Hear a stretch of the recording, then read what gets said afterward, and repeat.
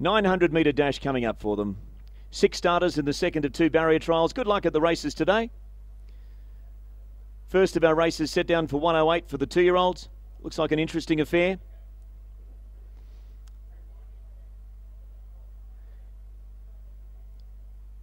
Good luck to Neville Layt and all those involved with Karuta Queen tomorrow in the black in the black opal in the golden slipper. Drawn a bit wide, but you just never know.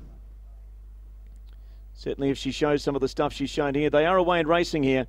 Coming out well on the outside, Christmas Island, and Christmas Island led, although just narrowly. Cutter's Track is pushing forward on the inside, and also there is Mighty Lion. Mighty Lion led narrowly by a length or so. Uh, in second spot as they sort themselves out was Cutter's Track. They're being followed by Christmas Island from So Pretentious, and Avonlea Lad at the back of the field with Steamer Lane.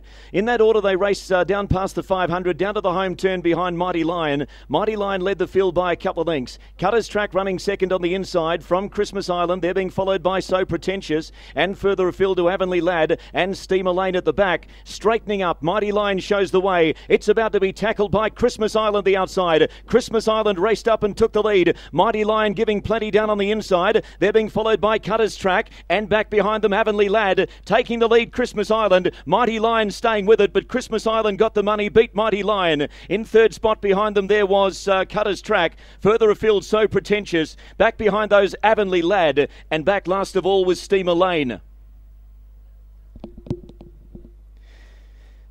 Victory to Christmas Island from the Guy Walter stable.